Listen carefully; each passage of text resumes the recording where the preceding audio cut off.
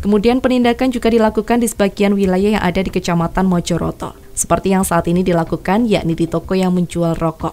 Para pedagang terkadang kurang paham mengenai rokok ilegal sehingga kegiatan semacam ini sangat tepat dilakukan. Dan apabila ditemui pedagang yang nakal, nantinya akan tetap mendapat pengarahan dan sanksi yang sesuai.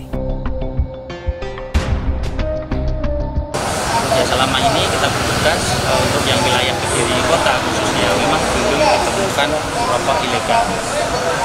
Namun mungkin di wilayah lain kita selama ini melakukan kegiatan itu sudah uh, ada beberapa yang kita temukan rokok ilegal. Mengapa target penindakan adalah pasar-pasar yang ada di kota Kediri? Karena pasar adalah tempat transaksi antara produsen dan konsumen yang merupakan komoditas untuk mewadahi kebutuhan sebagai demand atau supply.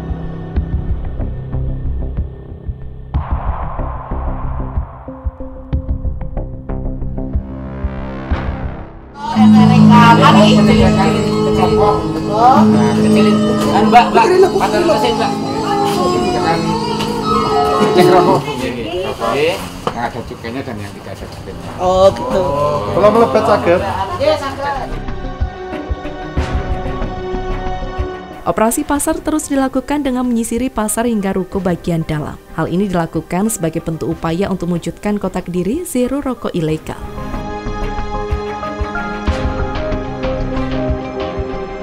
Rokok sendiri di kalangan masyarakat sekarang ini seperti kebutuhan pokok, yang mana tidak sedikit orang yang tergantungan akan rokok. Tidak hanya rokok, seiring perkembangan zaman juga banyak masyarakat yang memakai vape dengan liquid yang berbeda-beda. Semakin tingginya kebutuhan masyarakat akan rokok, maka semakin banyak pula para penjual rokok maupun barang kena bea cukai lainnya. Namun yang harus diperhatikan, di sini masyarakat harus menjadi penjual serta pembeli yang cerdas, yang tidak merugikan negara.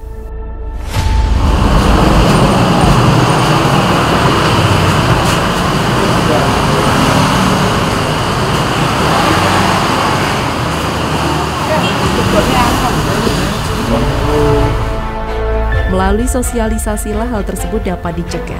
Lebih dari itu, juga dapat menumbuhkan perekonomian nasional melalui industri tembakau. Masyarakat selalu diimbau untuk dapat berperan serta dalam kegiatan gempur rokok ilegal. Dengan cara melaporkan adanya peredaran rokok ilegal kepada bea cukai, pelaporan juga dapat melalui media sosial resmi yang ada. Secara umum biasanya lebih ke uh, tidak dilekatinya kita cukai pada produk. Kemudian uh, apa namanya kita yang sifatnya dipakai lagi kita bekas atau mungkin kita yang bukan lebih seperti itu.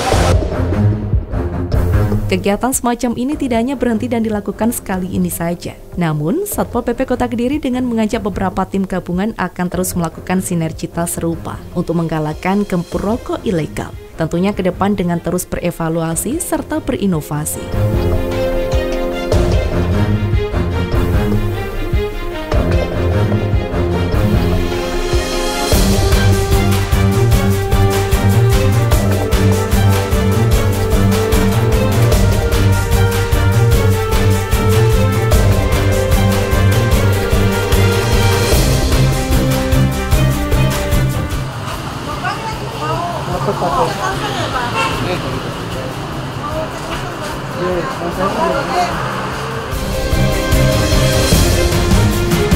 Rokok tembakau merupakan salah satu komoditas perkebunan yang cukup strategis karena memiliki daya saing yang tinggi dan turut memberikan kontribusi perekonomian nasional melalui penyerapan tenaga kerja, serta menjadi salah satu komponen penerimaan negara melalui pungutan cukai. Sayangnya, masih banyak pengusaha hasil tembakau khususnya rokok yang mengedarkan hasil produksinya dengan tidak resmi alias legal. Padahal apabila seluruh pedagang dan produsen taat dapat mesejahterakan para petani tembakau.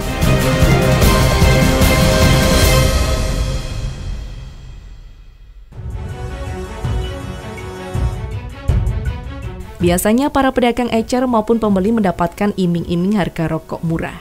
Dengan murahnya harga yang ditawarkan menjadikan mereka tergiur untuk mengedarkan rokok ilegal maupun untuk dikonsumsi sendiri.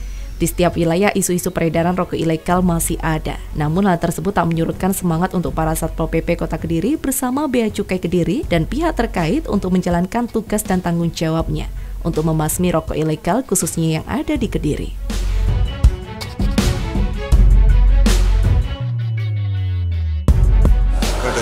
Paling dari petunjuk dari kita terkait masalah karena rokok itu yang bersih yang tidak jangan memakai rokok itu nanti ada sanksi